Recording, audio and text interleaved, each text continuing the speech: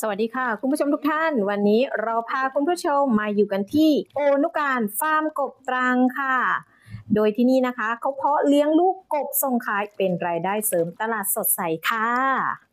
สำหรับโอนุการฟาร์มกบตรังนะคะ ตั้งอยู่ในพื้นที่หมู่ที่ 3 บ้านบางพระตำบลวังมะปรางอำเภอวังวิเศษจังหวัดตรังค่ะ โดยคุณโอนุการพร้อมด้วยภรรยานะคะ ซึ่งเป็นเจ้าของโอนุการฟาร์มกบตรังค่ะกำลังเร่งคัดแยกลูกกบซึ่งได้ขนาด เพื่อเตรียมนำไปส่งให้กับลูกฟาร์มเครือข่ายในพื้นที่จังหวัดกระบี่จำนวน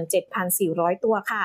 ที่มีออเดอร์เข้ามาหลังจากทั้งสองคนได้ใช้เวลาว่างจากการทำสวน และเปิดร้านจำหน่ายสินค้าเกษตรค่ะ เช่น ปุ๋ย อาหารสัตว์เป็นต้นค่ะ และก็ได้มีการต่อยอดอาชีพทำการเกษตรด้วยการหันมาเลี้ยงกบเนื้อนะคะ และเพาะขยายพันธุ์ลูกกบส่งขายให้แก่ลูกฟาร์ม เครือข่ายในหลายจังหวัด เพื่อเป็นรายได้เสริมหลาย ๆ ช่องทางเลยค่ะ ซึ่งตอนนี้ก็ทำมาแล้วประมาณ 7 ปีค่ะ โดยใช้พ่อแม่พันธุ์กบลูกผสมนะคะ ระหว่างกบจานและกบสายพันธุ์ต่างประเทศ ซึ่งเป็นสายพันธุ์ Blue Frog ค่ะ โดยปัจจุบันมีพ่อแม่พันธุ์จำนวน 300 คู่นะคะนำมาหมุนเวียนเพาะเลี้ยง แต่ละปีสามารถผลิตลูกกบได้ประมาณ 6 รุ่นค่ะ และแต่ละรุ่นนะคะประมาณ 30,000 ถึง 50,000 ตัวเลยทีเดียว ทั้งเลี้ยงเป็นกบเนื้อเอง และส่งลูกกบขายให้แก่ลูกฟาร์มค่ะ ซึ่งมีประมาณ 30-40 ราย ทั้งในจังหวัดตรัง จังหวัดนครศรีธรรมราช และจังหวัดกระบี่ค่ะ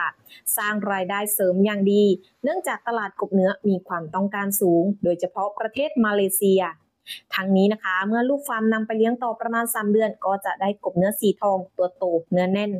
ทางโอนุการฟาร์มกบตรัง ก็จะรับซื้อกบเนื้อกลับในราคาท้องตลาดค่ะ เพื่อส่งขายให้กับพ่อค้าแม่ค้าในหลายจังหวัด และก็ส่งไปยังประเทศมาเลเซีย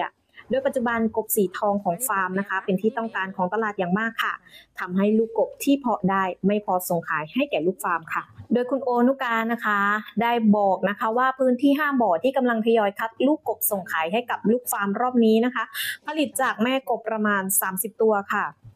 ได้ลูกกบทั้งหมดประมาณ 30,000 ตัว เริ่มจับวันนี้เป้าหมายส่งให้ลูกฟาร์มในจังหวัดกระบี่ค่ะ และจะทยอยจัดส่งขายให้กับลูกฟาร์มรายอื่นๆ ต่อไป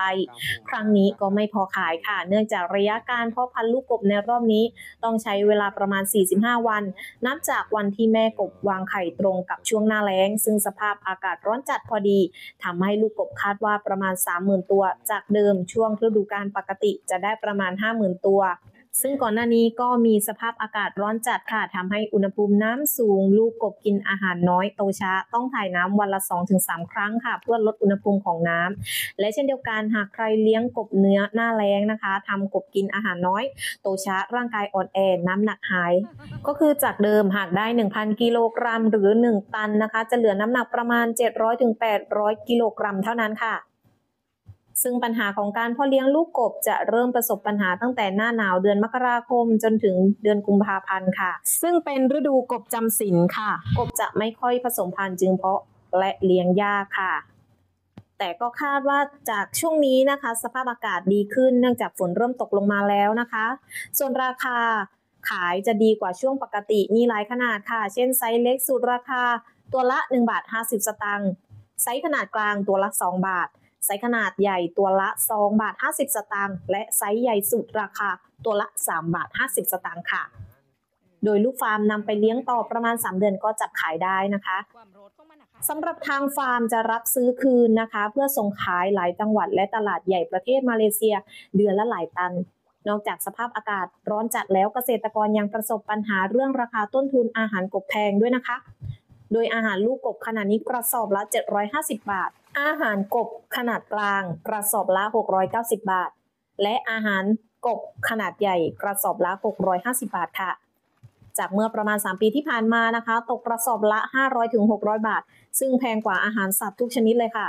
แต่ในการเลี้ยงกบจำเป็นต้องเลี้ยงด้วยอาหาร เนื่องจากให้โปรตีนที่สูงกว่าทำกบตัวโตสมบูรณ์ อัตราแลกเนื้อสูงกว่าการเลี้ยงด้วยเนื้อปลา ทั้งนี้นะคะ ใครสนใจอยากอุดหนุนเกษตรกร หรือเกษตรกรต้องการปรึกษาเรื่องการเลี้ยงกบ ต้องการลูกกบกบเนื้อสามารถติดต่อได้ที่ Facebook โอนุการฟาร์มกบตรัง โทรศัพท์ 0874717291 ได้ค่ะส่งวันนี้ส่งกระบี่ครับออเดอร์ไม่ไม่พอครับตลาดลูกกบก็ให้แม่ค้าทั่วไปเลยครับให้ลูกค้าทั่วไปเลย มีกระบี่นคร